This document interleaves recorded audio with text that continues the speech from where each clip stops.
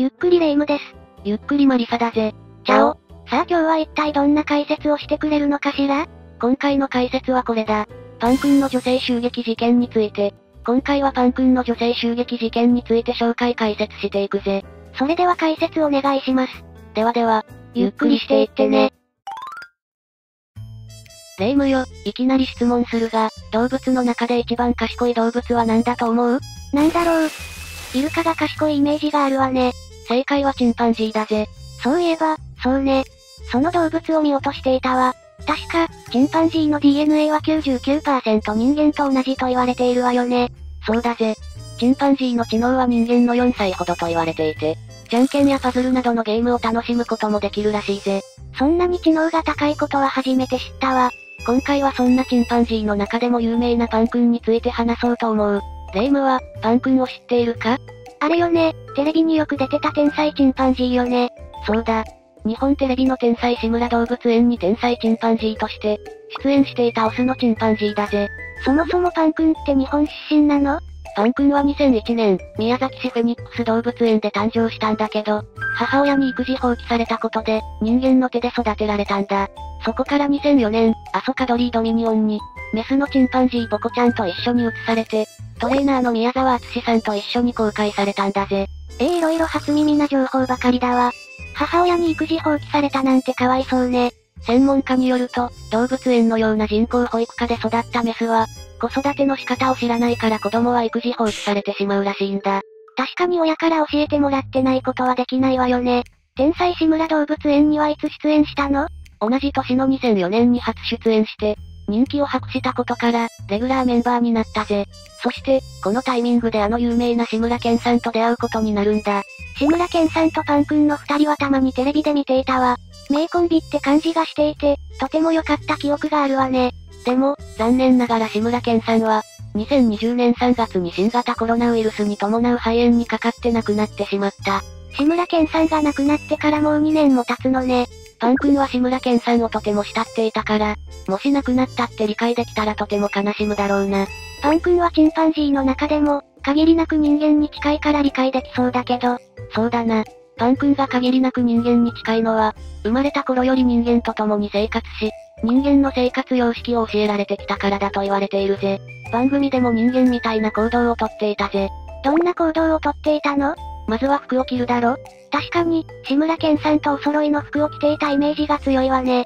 それ以外にも、カメラを使って写真を撮ったり、箸、スプーンを使ったり、焼き魚を骨だけ残して綺麗に食べたりしていたぜ。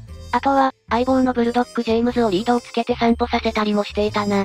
まんま人間と同じような行動をしていたのね。パンくんすごいわ。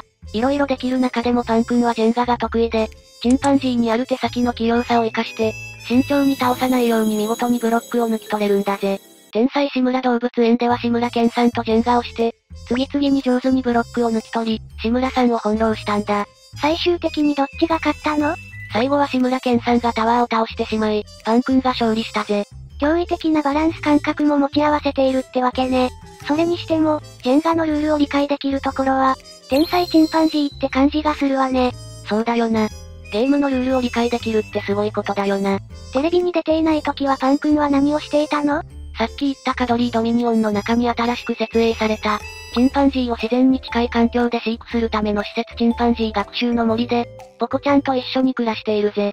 あとは、園内で開催されるショーに宮沢さんと一緒にショーに出て、みんなを楽しませてくれているんだ。じゃあ、今もパンくんのショーは見ることができるってわけね。今は無理だぜ。どうして？その理由が今回のタイトルでもある女性襲撃事件だぜ。もともと、パンくんと恋人のポコちゃん10歳が、性成熟を迎えたのに合わせて、繁殖にチャレンジさせるために、2012年の引退公演を最後に引退する予定だった。でも、そのタイミングで事件が起きてしまった。どんな事件だったの ?2012 年9月6日に出演していた、宮沢劇場の動物ショー後に、二十歳の女性研修生を襲撃するという大事件を起こしてしまったんだぜ。パン君が人を襲撃するなんて。当日の宮沢劇場の3度目のショーが終わり、出演者一同で観客に挨拶をしている際に、それまでお辞儀をしていたはずのパン君が、突如として舞台袖にいた女性研修生に飛びかかり、体のあちこちに噛みつくといった強行に及んでしまったらしいんだ。それで、女性は大丈夫だったの？宮沢敦さんとトレーナーが引き離したんだけど、研修員は額や耳の後ろ、腰、足首を噛まれ約2週間の怪我を負い、病院へドクターヘリで運ばれ、縫合手術を受けたんだぜ。死んでないならよかったわ。でも、どうして今まで人を襲ったことがないパン君が突然そんな強行に走ったの？誰かが刺激でも与えたのかしら？いやそんなことはなく、本当に突然だったらしいぜ。襲われた女性スタッフの人が動物嫌いにならないといいけど、その事件のせいでショーに出れなくなったってわけね。そうだぜ。テレビはどうなったの？天才志村動物園もしばらくは、パン君の出演部分の放送を見合わせになったんだ。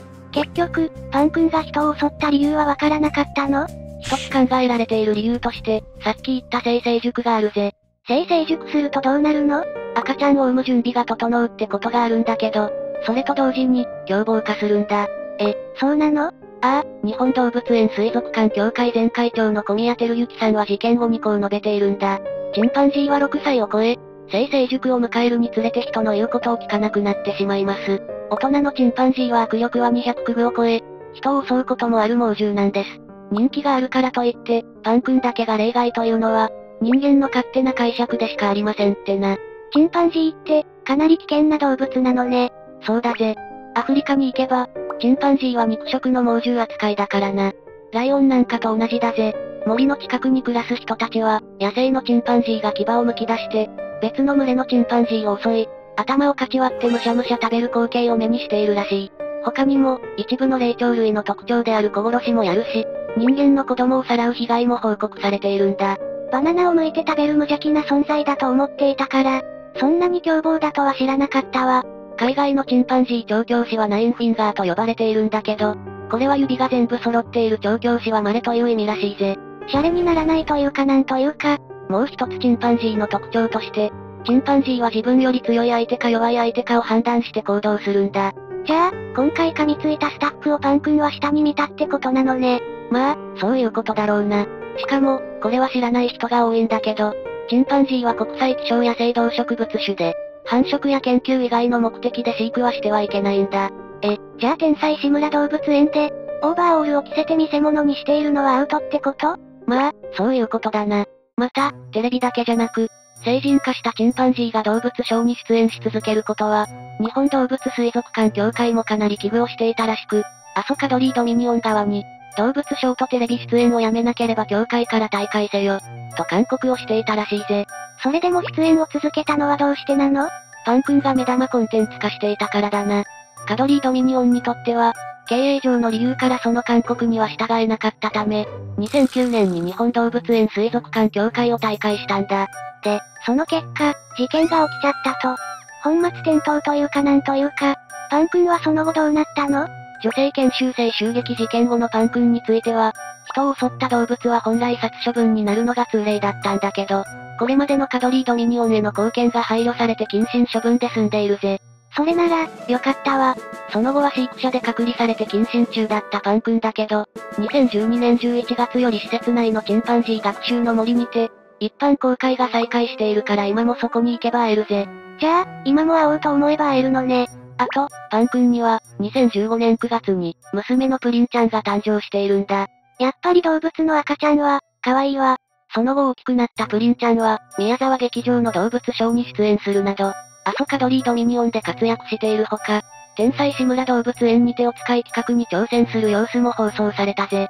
なんか親であるパン君と同じことをさせられてかわいそうな感じもしてくるわね。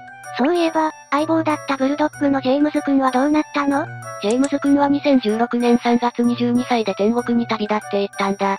犬の12歳は人間でいう84歳だから、長生きしてるよな。ジェームズ君も志村けんさんも亡くなってしまったから、パン君は寂しいでしょうね。パン君には、これからも元気にチンパンジー学習の森で暮らして、余生を楽しんでほしいものだわ。そうだな。レイムよ、今回の解説はどうだった？チンパンジーが大人になると凶暴になるって知れてよかったわ。あとは、野生に人間の手が加わると、最終的には良くない結果を招くものだと分かったわ。そうだな。でも、人間がいなくなるってことはありえないだろうから、人間と動物がうまく共存できる世界にしていきたいよな。引き続きこのチャンネルでは、世の中の闇を紹介していきます。この動画が良いと思ったらチャンネル登録高評価。ベルマークの通知登録も忘れずにオンにしておいてね。それじゃあ次回の動画でお会いしましょう。次も絶対に見てちょうだいな。それじゃあ、バイバイ。